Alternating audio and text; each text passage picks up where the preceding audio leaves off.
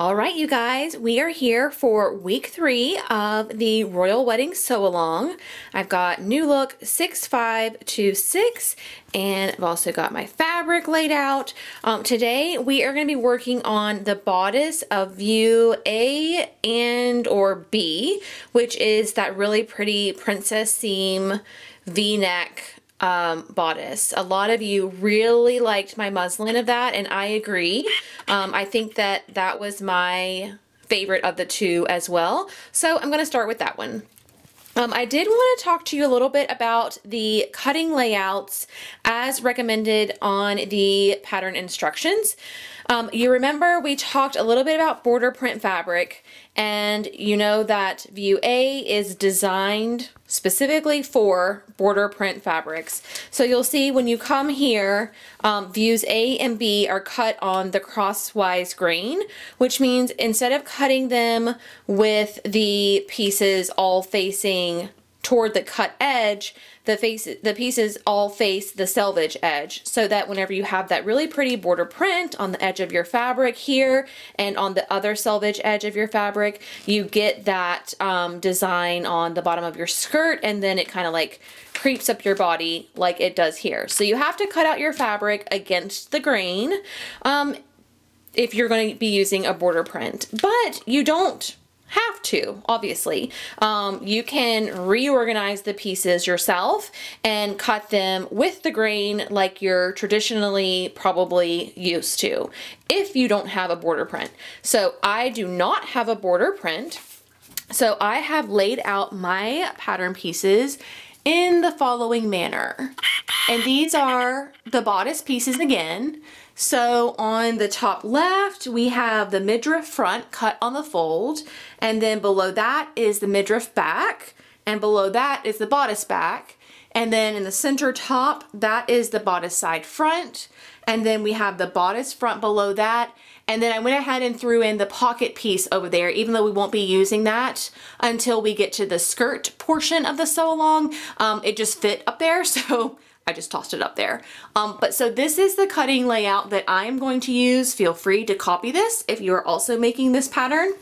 But the rest of the video is going to be dedicated toward putting together the bodice for view A or B. I'm going to show you um, some tips for marking your dots and also how to attach the um, princess seams in a way where it's nice and smooth and you don't get like a ton of puckers or anything like that where you get a really beautiful seam. So let me get this all cut out and I'll be back in a minute. All right, so I have cut out all of my bodice pieces. They are very beautiful as well as the pocket piece. And I just wanted to point out that um, in addition to clipping all of your notches, I just clip right to the point of the um, the triangle. I don't actually cut out the triangle. I just clip right through. But after you cut um, all your notches, if you're making the sleeved version, which is technically view B, then you're also going to need to mark these dots um, on your armscye. So this is the one for the front and this is the one for the back and this is going to help you line up your sleeve whenever you go to sew them. You'll notice on your sleeve piece as well that there are also these dots. So they will all match up as you're sewing your sleeve together. And I just want to show a real quick and easy way to mark them and how I mark mine pretty much every single time. So you just take a, um, a pin like you would use for anything else and you put it through the circle that you want to mark right through the middle of it. Me remove this one to make it easier. I'm also doing this one-handed. Just shows you how easy it is. Um, and then you're gonna peel back the pattern paper and you can see that you have the center of the um, circle marked with your pen. Now you can either pull your paper off completely, um, but I don't like to have that huge hole in mine, so I just fold it back, and then you take your marking tool, whether it's a chalk pen or a regular pen, disappearing ink, whatever it is, and you mark right where that pen goes into the fabric, like so, and then you flip over your fabric and you have the pen coming through the opposite side. And you just do the same thing.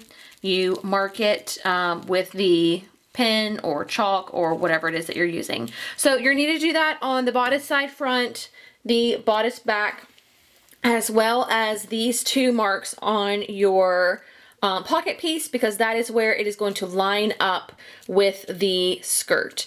Um, so Get all your notches marked or clipped and then get all of your dots marked depending on if you're making sleeves or not. All right, before we can actually start sewing this together, we need to interface a few of the pieces. So what I do is I lay down my piece, I still honor the grain line, um, so that's parallel to the selvage edge.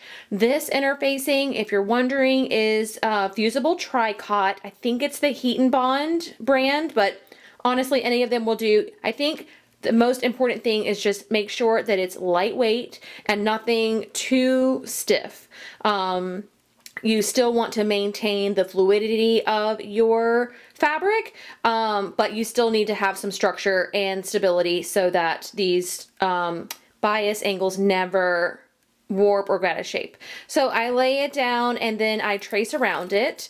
And then I'm not a huge fan of cutting exactly the same um, uh, seam lines as the fashion fabric. It's not going to go all the way to the edges and that'll help reduce some of the bulk that you have um, in your seam lines.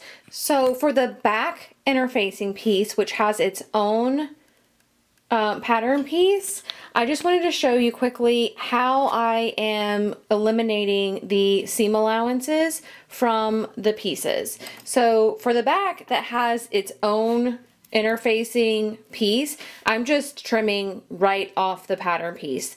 I'm not tracing or anything like that. And I'm only going to trim the interfacing um, seam allowance from the um, edges that have a seam. So that's going to be your shoulder seam here and your back collar here. This seam here is, this line here is not a seam. It's just going to fit nicely in um, to the collar of your back pattern piece like so. Something along these lines like that. And you can see it's just the interfacing is just going to stop a few inches below the collar. So you don't really need to trim the interfacing there. You probably actually do want it to go um, as far down as the pattern piece indicates. So once I determine which um, seam lines are going to get trimmed, then I take these very handy seam allowance curves.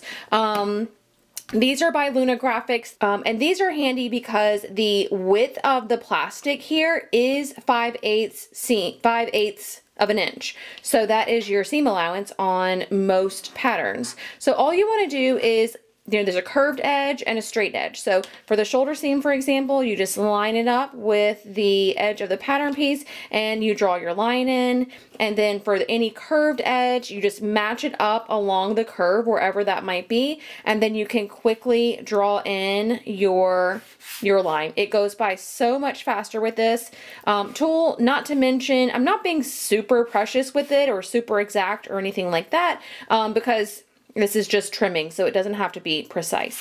But for your pattern pieces that act as your fabric piece, your lining piece, your interfacing piece, your contrasting piece, I don't want to cut off um, anything from this pattern piece. So you can be a very good non-lazy sewist and trace them off onto your favorite tracing paper. Um, or you can do like I do and trace them directly onto the interfacing and then use this ruler to mark your um, seam allowances or your trim line, however you want to look at it, directly onto the interfacing and then trim out that line. It's really up to you how you want to do it. Um, it's probably, if you're going to make the pattern multiple times, um, more time um, effective if you go ahead and trace it off. That way it's just one step, one time instead of multiple steps, multiple times. All right, so I have got the fusible interfacing applied to the back. Remember, it's just the little collar section, shoulder section, and a little bit of the armscye for the back. The entire side front piece. Um, this is the front, I'm sorry, this is the back oh, midriff waistband thingamajig.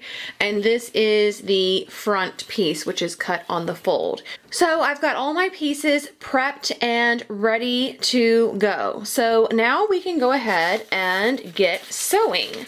Um, the very first step in our instruction booklet is to, let me focus this a little bit better.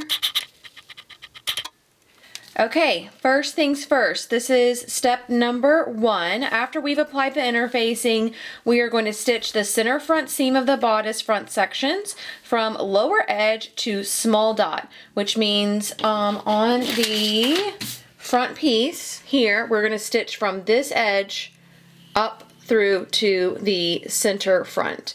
That is going to be our very first step, and then from there, um, we stitch the side front sections to the bodice front. And I'm going to show you, give you some tips on how to do that so that you get a really beautiful seam here without any puckering um, uh, whatsoever. So let me get this sewn first and I'll be right back.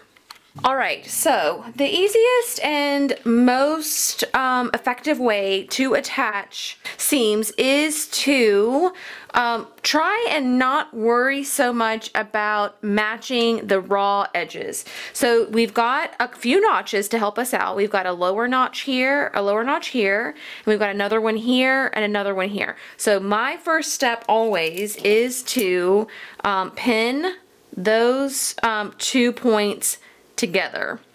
That's going to tell us a lot about uh, where to ease everything in and where not to. Um, this whole thing is not eased, so it doesn't really help you to just um, match the ends. You really need to match the um, the those notches as well. So after I match the notches and pin them, then I go and match the edges like so. All right, so now you can tell you've got a smooth where the raw edges match here and then the raw edges also match from here to here but in this area you can see it's like creating this little opening where the two seem like they don't want to go together but they definitely do. They just go together at the seam line, not necessarily at the raw edge. So work them together, manipulate them around a little bit. This is why it's also beneficial to not have your interfacing all the way to the edge because you can kind of stretch this out a little bit and make the two fit in together better. Um, and then you'll also see as you start doing this, this edge here is going to create little ripples along this edge here. So I like to take my scissors and cut the one that's not rippling, the edge that's laying flat, because that is going to um, give it enough room to kind of mimic what is happening here. So once you clip to the seam line, but not through, and again, having the interfacing there helps a lot, um, I'm clipping maybe half an inch worth. Um, you can start to see how it starts to automatically lay flat. Um, so now the two seams are totally laying flat together and it'll be much easier for you to sew those together. And I'll show you again on the other side. So we want to take our side bodice piece. We want to line up the bottom notch, like so. And then we want to line up the top notch, like so. Then line up the top edge, like so. And now the bottom edge.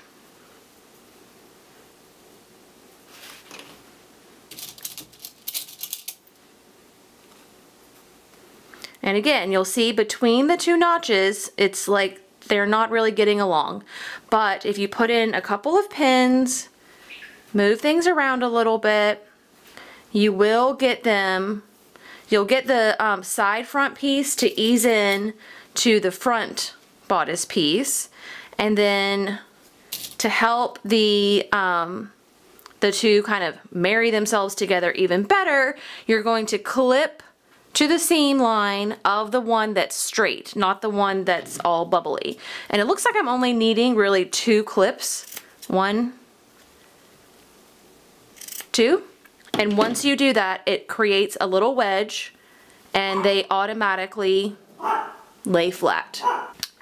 So you can see here I've got my two princess seams ready to be sewn. So I'll show you what they look like after that and after I get them pressed. Okay, there we have it. This is our completed like, I don't know, I'd call it our upper bodice where we have the center front seam done and we also have our princess seams um, sewn. The instructions tell us to press these seams open and these seams toward the center front. So that's what I did. You can use a pressing ham to help you, but honestly, I didn't even use mine. It wasn't that hard. Um, so it's looking really beautiful. Again, still loving this little sweetheart neckline. So moving right along, the next step is to attach the front, which is this piece, to the back pieces at the shoulder seams. So you're going to take this like so, and this like so, and you are going to sew along this seam and this seam. You just want to make sure you don't get these two swapped. Um, so like this, I know it seems hard to do, but if you're not paying attention and you're in a hurry, like sometimes that can happen. So just make sure you get the armscye matching. So like over here, there's an armscye for the back and there's an armscye for the front. And then the same thing over here. So you sew the um, shoulder seams and then you also want to sew together the side seams. So we're going to match that notch and sew the side seams together. Um, and then we'll have our entire upper bodice. Um, and then from there, it's just all straight seams from after you get the princess seams done, it's all straight seams. So from there, we'll attach the front midriff to the back midriff. Again, similarly, you wanna make sure everything matches up because these this can look similar, the this edge and this edge, and you need to make sure that you're attaching it the right way so it doesn't end up upside down. Um, so again, you've got a curvy edge here and a flat edge here.